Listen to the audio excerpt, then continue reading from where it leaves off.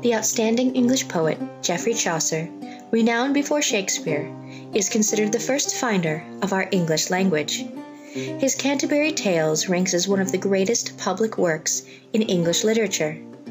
Renowned author, Chaucer also contributed importantly to the second half of the fourteenth century to the management of public affairs as a courtier, diplomat, and civil servant. In a career that spanned three successive kings, Chaucer was praised and trusted, but it is his avocation, the writing of poetry, for which he is remembered. Geoffrey Chaucer was born around 1342, likely in London. His family name derives from the French chausseur, meaning shoemaker, though Chaucer's father was a wine merchant. Chaucer's first appearance in historic records is in 1357 as a member of the household of Elizabeth, Countess of Ulster, wife of Lionel, third son of King Edward III. Geoffrey's father presumably had been able to place him among a group of young men and women serving in that royal household, a customary arrangement whereby families who could provide their children with opportunity necessary for courtly education and connections to advance their careers, especially since Chaucer reportedly had 16 siblings.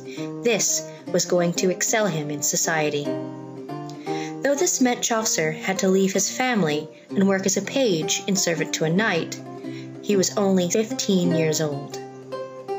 By age 17, Chaucer was a member of King Edward III's army in France and was even captured during the unsuccessful siege of Rheims. The king himself contributed to Chaucer's ransom to save him in order to return him to his majesty's service. Chaucer surfaced again in historic record on February 22, 1366, when the King of Navarre issued a certificate of safe conduct for Chaucer, three companions, and their servants to enter the country of Spain. This occasion is the first of a number of diplomatic missions to the continent of Europe over the succeeding ten years. At the age of 25, Chaucer had moved from a household servant, a soldier, to that of a trusted diplomat. So much responsibility and activity in public matters appears to have left Chaucer little time for writing. However, the time traveling did expose Chaucer to the works of Dante, Petrarch, and Boccaccio, which was later to have a profound influence upon his own writing. No information exists concerning Chaucer's early education although doubtlessly he would have been fluent in French, as was the Middle English of the time. He also became competent in Latin and Italian. His writings show that he is closely familiar with many important books of his time. In 1366, Chaucer had married longtime friend Philippa Pan, a lady in waiting to the Queen of England, and continued his work for His Majesty as a diplomat with Chaucer's career prospering and his first important poem, Book of the Duchess, becoming popular, Chaucer continued to connect himself with persons in high places. This first poem was more than 1300 lines long, probably written in late 1369 or early 1370. It is written for the funeral of Blanche, Duchess of Lancaster, wife of John the Gaunt who died of plague in September 1369. John of Gaunt was Chaucer's best friend. Lord, but mine heart is maketh light when I think on that sweetest rite, a commonly one to see, and wish to God it might so he that she would hold me for her knight, my lady fair and bright. When Richard II ascended the throne, Chaucer was appointed clerk of the king's work. His pay raise was more than thirty pounds a year and a pitcher of wine daily. He became responsible for construction at Westminster, the Tower of London, and several castles and manors, but times were still hard for Chaucer. It is during the same time that Chaucer was caught up in a legal scandal. The charges were dropped, and Chaucer was found not guilty, but regardless, Chaucer's place in society greatly changed. He resigned, or was removed, it is not clear, but Chaucer left the court and moved to Kent, after which his wife, Philippa, died due to poor health, leaving Chaucer with two sons and two daughters. Between the years of 1387 and 1400, Chaucer devoted much of his time writing his most famous work, Canterbury Tales. The humor of the work is sometimes very subtle, but it is often broad and outspoken when compared to other works written at the same time. Chaucer's original plan for the Canterbury Tales called for two tales each from over 20 pilgrims making a journey from Southwark, England, to the shrine of St. Thomas Becket of Canterbury, England. He later modified the plan to write only one tale for each pilgrim on the road to Canterbury, but he only finished 24 tales out of the 120 stories is believed he had been planning.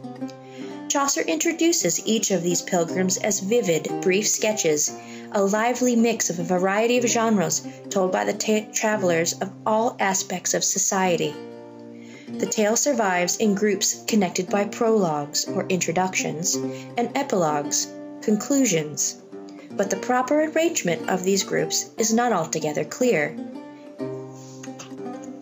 At this time in medieval England, literature was separated into very distinct styles, focused more on audience, the lower, middle, and upper classes, than its characters. Chaucer, however, moves freely between all of these styles, showing favoritism to none. He not only considers the reader of his work as his intended audience, but the other pilgrims within the story as well creating a multi layer rhetorical puzzle of ambiguities. Chaucer's work thus far surpasses the ability of any single medieval theory to uncover. Chaucer avoids targeting any specific audience or social class of reader, focusing instead on the characters of the story. The characters are written with a skill proportional to their social status and learning. Chaucer draws on his own unique background, knowledge, literary influences, and life experiences.